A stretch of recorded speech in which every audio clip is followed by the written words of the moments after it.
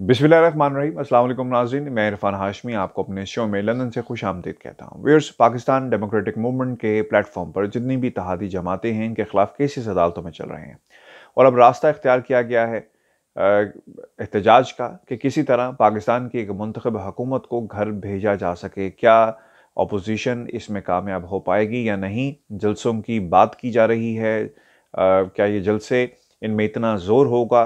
इमरान खान की हुकूमत को घर भेजने में कामयाब हों। इस पर आज हम तफसील से बात करेंगे और पाकिस्तान की सफारती सतह पर एक कामयाबी और अब इंडिया मुजाकर की मेज़ पर आना चाहता है ऐसा कहना है मोइज यूसुफ का और एफ़ ए टी एफ़ का मामला खसूस इस वक्त जो सिचुएशन है इमरान खान की बतौर लीडर दुनिया में जिस तरह पजेराई की गई क्या हमारे दफ्तर खारजा ने आ, क्या ऐसा किरदार अदा किया? कि इसके ऊपर कैपिटलाइज किया जा सकता चूँकि पाकिस्तान की इंटरनेशनल जो पॉलिटिक्स है कारकर्दगी बहुत अच्छी है और इसमें ज़्यादा अगर हम क्रेडिट दें तो पाकिस्तान के वज़ी अजम इमरान खान का इसमें मेजर हमें जो रोल है, वो नज़र आता है। तो इस पर भी हम तफसील से बात करेंगे, इस्लामाबाद से हमें ज्वाइन करेंगे सीनियर सहाफ़ी और तजियाकार इब्राहिम राजा। राजा साहब बहुत शुक्रिया आपके वक्त का। अच्छा एक खबर चल रही है कि पाकिस्तान ने भारी एक्सचेज से आइंदा तीन साल के लिए अकवा मुतहदा की इंसानी हकूक कौंसिल का रुकन मंतखब हुआ है। इसको हम सफारती कामयाबी कंसिडर कर रहे हैं। मुझे थोड़ा सा ये भी बताएँ कि इमरान खान की हुकूमत के अंदर हमें इस तरह की कामयाबियाँ क्या ज़्यादा देखने में मिल रही हैं? हमारा जो फॉरेन फ्रंट्स हैं वहाँ पे पॉलिसीज़ बड़ी वाजे हैं। डोमेस्टिकली uh, थोड़े प्रॉब्लम्स हमें नज़र आ रहे हैं लेकिन फॉरेन जितने भी फ्रंट्स हैं वहाँ पे हम बहुत अच्छा परफॉर्म uh, कर रहे हैं as compare to the previous government so कितनी बड़ी कामयाबी आप इसे देखते हैं? खसूस इंडिया के साथ हालात हमारे इतने अच्छे नहीं है और uh, राजा फारूक हैदर साहब तो ये कहते हैं कि दोनों मुल्क जो हैं वो जंग के दहाने पर खड़े हैं खसूस इंडिया का जो चाइना के साथ ऐसे हालात चल रहे हैं। तो इस सिचुएशन के अंदर, इस तरह का इतनी बड़ी कामयाबी पाकिस्तान के लिए कैसी अच्छी होगी? और कल का मोई यूसुफ साहब का इंटरव्यू उसने भी बहुत सारी चीज़ों को ओपन किया। दहशतगर्दी के उन्होंने बहुत सारे एविडेंसेस दी हैं, दुनिया के सामने रखे हैं। तो कैसा परफॉर्म कर रही है? और पाकिस्तान का, के लिए कितनी बड़ी कामयाबी है? हाशमी साहब, हमें सफारती कामयाबियाँ तो पिछले दो साल में बहुत ही नुमाया किस्म की मिली हैं। ये काफ़ी कामयाबी है। इनका क्रेडिट सिर्फ़ और सिर्फ़ प्राइम मिनिस्टर इमरान खान को जाता है और फॉरेन ऑफ़िस को इसका बिल्कुल किसी किस्म का कोई क्रेडिट नहीं दिया जा सकता। मैं आपको बताऊँ कि ये अगर foreign office prime minister Imran Khan की इन एफर्ट्स को सप्लीमेंट करता तो ये कामयाबियाँ जो हैं, जितनी पाकिस्तान को मिली हैं, ये इससे भी ज़्यादा होती। मिसाल के तौर पर आप देखें कि पहली मरतबा ऐसा हुआ कि जब प्राइम मिनिस्टर इमरान खान की सदर ट्रंप से मुलाकात हुई तो अमेरिका की तरफ़ से पहली मरतबा बाजाबता कहा गया कि कश्मीर के ऊपर वो सालसी के लिए तैयार हैं। अमरीकी सदर की जानब से कहा गया और भारतीय वजारत खारजा को अमरीकी सदर की मजम्मत करनी पड़ गई। ये प्राइम मिनिस्टर इमरान खान का विज़िट था और उन्होंने दो टोक अल्फाज में जाके अपना मौकफ बिल्कुल सामने सीधे अल्फाज में रखा। यूएनजीए में जो उनकी पहली तकरीर थी, बहुत ही ज़्यादा मौसर थी और आरएसएस को उन्होंने उधेड़ के रख दिया वहाँ पे और इतने ज़बरदस्त दलाइल पेश किए कि मैं वहाँ पे खुद मौजूद था। वहाँ जो फॉरेन डेलीगेट थे, वो बड़े उससे इंप्रेस नज़र आए। फिर आप देखें यूरोपियन पार्लियामेंट जो है ब्रसल में यूरोपियन पार्लियामेंट वहाँ पे और ब्रसल डिफेक्टो कैपिटल है यूरोप का, वहाँ मसला कश्मीर डिस्कस हुआ, उसके ऊपर करारदाद आई और उसके ऊपर वोटिंग भी होनी थी, लेकिन फिर वो कोविड की सूरत की वजह से और कुछ भारत की लॉबिंग की वजह से वो वोटिंग नहीं हो सकी। लेकिन इट सेल्फ उस करारदाद का आना भी एक बहुत बड़ा बहुत बड़ी कामयाबी थी। उसके साथ टर्की को और मलेशिया को मिला के प्राइम मिनिस्टर इमरान खान ने भारत पर इतना प्रेशर डाला कि मलेशिया के साथ ताल्लुकात माशी खराब कर लिए भारत ने वहाँ से पाम ऑयल की दरामद रोक ली। तुर्की के साथ एक बहुत बड़ी डिफेंस डील होनी थी। भारत ने तुर्की को सबक सिखाने के लिए वो डिफेंस डील भी रोक ली। तो प्राइम मिनिस्टर इमरान खान ने उनका जो एक पर्सनल करिज्मा है इंटरनेशनल पर्सनल उनका जो एक एक उनकी लीडरशिप क्वालिटीज हैं, उससे तो उन्होंने भारत को बहुत टफ टाइम दिया है। और कुछ लोग ये जो तनकीद करते हैं ना कि इमरान खान साहब ट्वीट कर देते हैं, और ट्वीट से क्या होता है? ये उन लोगों को ये पता नहीं है कि ये ट्वीट की एक इंटरनेशनल रीच होती है। ये वर्ल्ड वाइड रीच होती है। आप लोकल मीडिया पे एक बयान दे दें, उसकी कोई इतनी वैल्यू नहीं होती। ये ट्वीट उससे ज़्यादा वैल्यू रखती है, जिसकी रीच जो है वर्ल्ड वाइड होती है। लेकिन हमने ये देखा है कि हमारे जो फॉरेन मिनिस्टर हैं, शाह महमूद कुरेशी साहब, उन्होंने कोई उतनी इफ़ेक्टिव एफर्ट्स नहीं की जितनी प्राइम मिनिस्टर इमरान खान ने की है। लेकिन उसके बावजूद दो साल में हमें यूएनजीए में इंटरनेशनल लेवल पे यूरोपियन पार्लियामेंट में जिस किस्म की कामयाबी, कामयाबियाँ मिली हैं और जिस तरह से कश्मीर का मसला अब डिस्कस हो रहा है इस तरह से पहले हमने डिस्कस होते नहीं देखा, लेकिन इसका क्रेडिट मैं फॉरेन ऑफ़िस से ज़्यादा प्राइम मिनिस्टर इमरान खान को डायरेक्टली दूँगा। सर, ये भी बताएँ, ये जो कल कहा गया है मयूसा की तरफ़ से कि मुजाकरात करना चाहता है, भारत मेज पर आना चाहता है, इसकी सिग्निफिकेंस क्या है? क्योंकि जो वहाँ से एफ़ का मामला है, एकदम से ये पलटी खाना कुछ समझाएँ हमें। कि इस वक्त तो भारत को अपनी तोपों का रुख पाकिस्तान की तरफ़ करना चाहिए, उन्होंने किया भी है। हर वो मौका देखते हैं, लेकिन अब तो हमने उन्हें एविडेंसेस दे दिए। फंडिंग कहाँ से होती रही? पैसे कहाँ से ट्रांसफ़र हुए? कहाँ से कॉल्स की गई एपीसी को? और फिर वो जो अफ़गानिस्तान के अंदर बहुत सारी तंजीमें उन्हें जम किया गया पैसे देकर।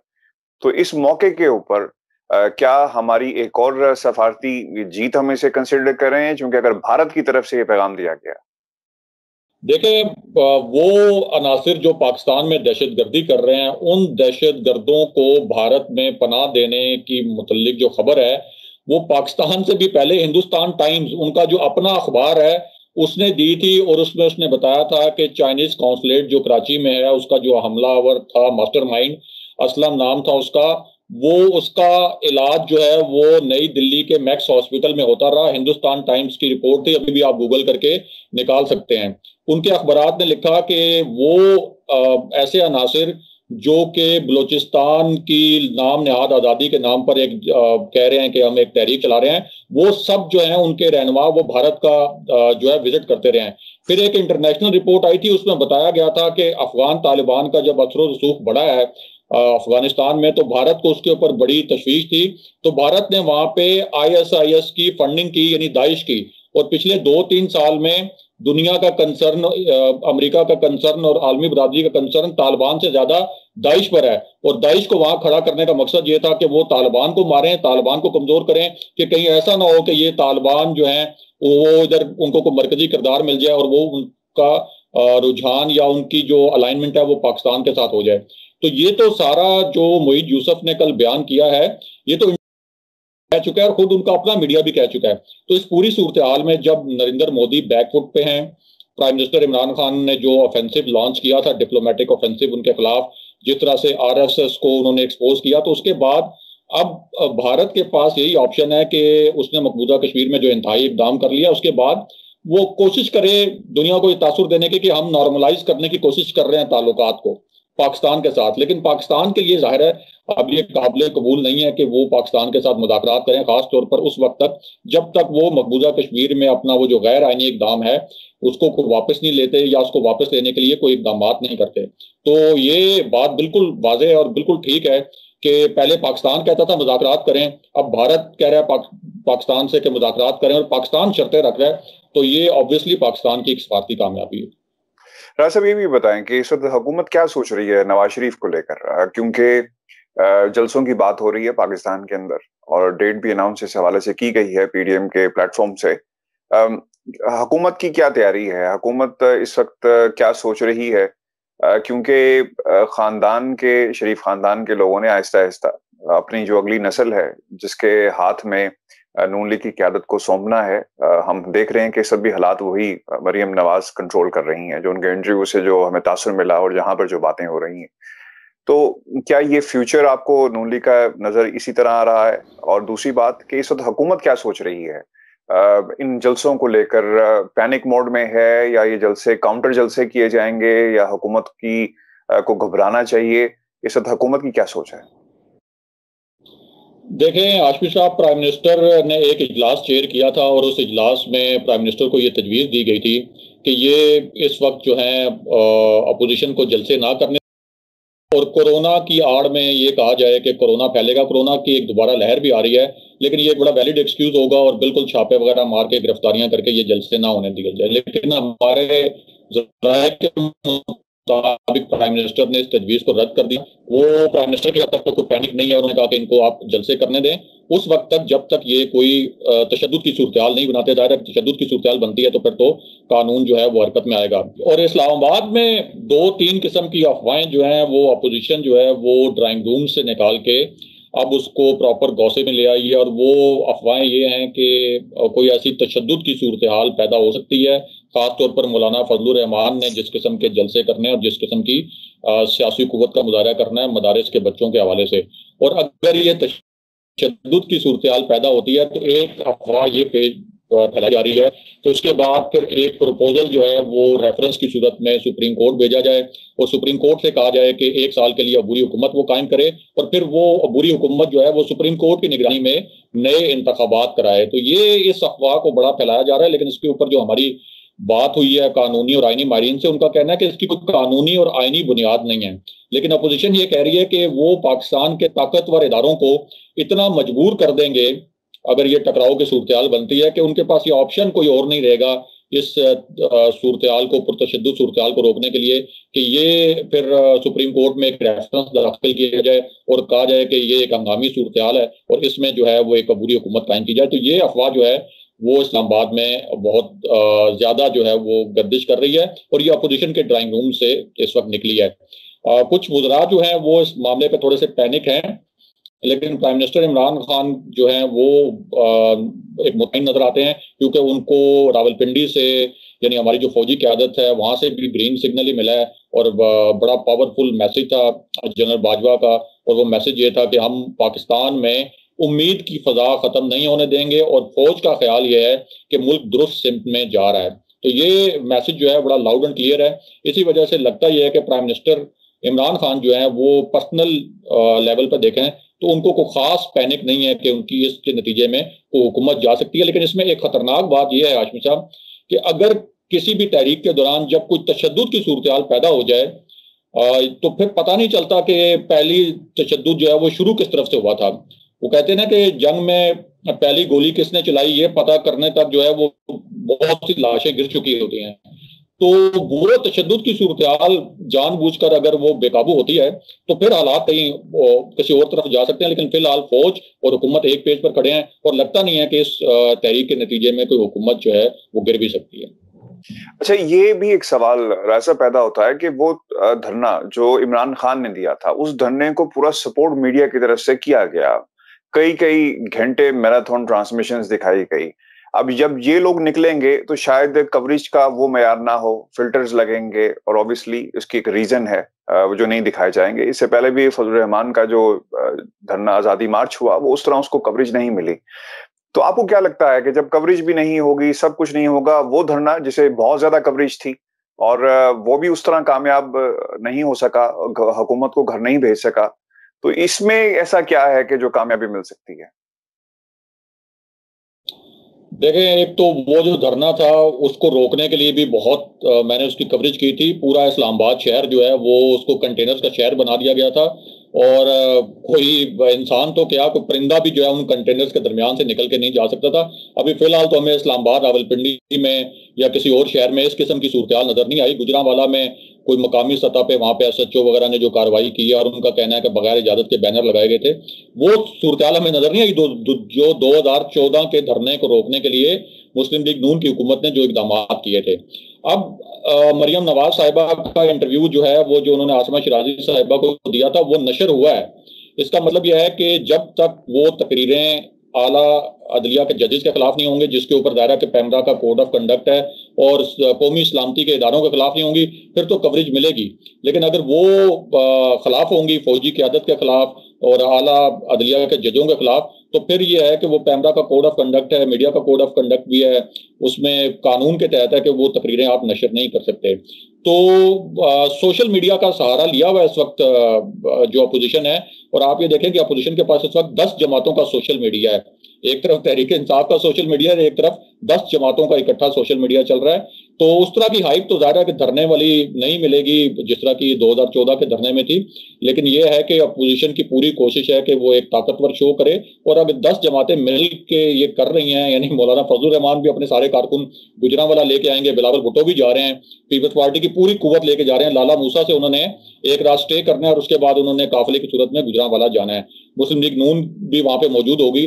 तो एक पावरफुल शो करना गुजरा में दस जमातों के लिए कोई इतना मुश्किल काम नहीं है। वो वो शो कर लेंगे। लेकिन इस शो से प्राइम मिनिस्टर इमरान खान को कोई परेशानी नहीं है। परेशानी सिर्फ़ इस बात की है कि कोई तशद की सूरत हाल ना पैदा हो, क्योंकि बहरहाल जो भी एहतजाज कर रहे हैं और जो एहतजाज नहीं करना चाहते हैं तो सारे पाकिस्तानी। तो प्राइम मिनिस्टर सिर्फ़ इस बात से उनको कंसर्न है कि ये तहरीक कोई पुरतशद रुख ना अख्तियार करे। अच्छा राज साहब आखिरी सवाल। लोगों ने ये सवाल हमसे भी करते हैं और ये मैंने कहा चलें इस सवाल को आपसे डिस्कस करते हैं। वो ये कहते हैं कि नवाज़ शरीफ को हमने ज़िंदा रखा हुआ है हम उनकी बात करते हैं। अल्ताफ हुसैन की कोई बात नहीं करता लिहाजा वो माजी का किस्सा हो गया।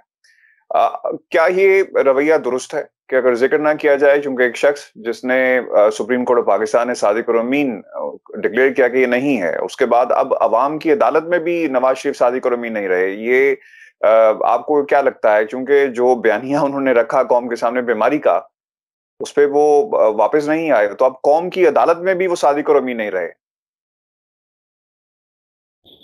देखिए थोड़ा सा नून में और एमक्यूएम में थोड़ा सा फ़र्क भी है क्योंकि एमक्यूएम कार्रवाई की रियाती इधारों ने तो एमक्यूएम के साथ कोई और पार्टी खड़ी नहीं हुई। मुस्लिम लीग नून भी नहीं खड़ी हुई, पीपल्स पार्टी भी नहीं खड़ी हुई, मौलाना फजल रहमान ने भी चुप साध ली। लेकिन यहाँ मामला यह है कि ये एक मुश्तर मुफाद का मामला है। मौलाना फजल रहमान पार्लियामेंट से बाहर हैं, मियाँ नवाज़ शरीफ पार्लियामेंट से बाहर हैं, पीपल्स पार्टी की क्यादत पर मुकदमात हैं। फिर आपको पता है वो पीटीएम वाला मामला है बलोचिस्तान की कुछ जमातें हैं, उनके अपने तहफात हैं। तो ये सारी जमातों का मुश्तर मामला है तो इन सबने मिला के ज़ाहिर है तो उससे फिर नवाज़ शरीफ की सियासत भी ज़िंदा रहती है। फिर यह है कि पंजाब में बड़ा होल्ड रहा है मुस्लिम लीग नून का। उसने इंतजामी तौर पर अपना बड़ा होल्ड बनाया है। वहाँ की पुलिस के अंदर उनकी बड़ी पेनिट्रेशन है। वहाँ की जो ब्यूरोक्रेसी है, उसके अंदर बड़ी पेनिट्रेशन है। तो मुस्लिम लीग नून को पंजाब से उस तरह से बिल्कुल खामोश करना लॉजिकली ये नहीं कहा जा सकता कि उसको आप ने बिल्कुल खत्म कर दिया है या खत्म कर देंगे। जिस तरह से अल्ताफ हुसैन के बारे में हुआ है कराची से।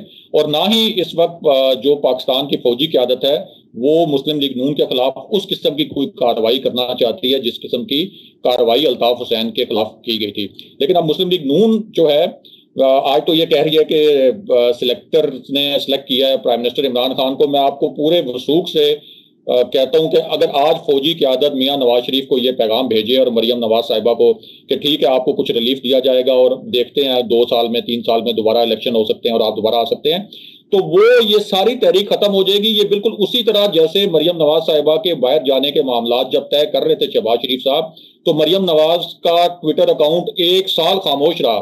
मियाँ नवाज़ शरीफ एक साल खामोश रहे। आर्मी चीफ की एक्सटेंशन पर मुस्लिम लीग नून ने वोट डाल दिया। तो उस वक्त तो यही कोशिश की जा रही थी कि इन्हीं सिलेक्टर्स जिनको वो कहते हैं इसी फौजी की आदत से रिलीफ हासिल किया जाए। और आज भी अगर एक पैगाम चला जाए तो ये सारी जो नज़रिए की जंग है, जो कह रहे हैं कि नज़रिए की जंग है, ये खत्म हो जाएगी। तो वो बकौल इमरान खान के किस दफ़ा शायद मुस्लिम लीग नून को और पीपल्स पार्टी को, खासतौर पर मुस्लिम लीग नून को अफसोस ये है कि फौज ने इस इलेक्शन में उनका साथ क्यों नहीं दिया। तो ये बहरहाल अब एक बड़ा महाज तो खड़ा किया है अपोजिशन ने। लेकिन जब तक अगर कोई खौफनाक सूरत पैदा नहीं होती खुदा न खास्ता कोई तशद वाली सूरत हुकूमत जो है वो जाती हुई नज़र नहीं आती। बहुत शुक्रिया राय साहब आपके वक्त। व्यूज़ ये हमारा आज का शो था। अपने कमेंट्स हमें ज़रूर भेजिएगा और चैनल को सब्सक्राइब करना मत भूलें। मुझे लंदन से इजाज़त दीजिए। अल्लाह ने के बाद।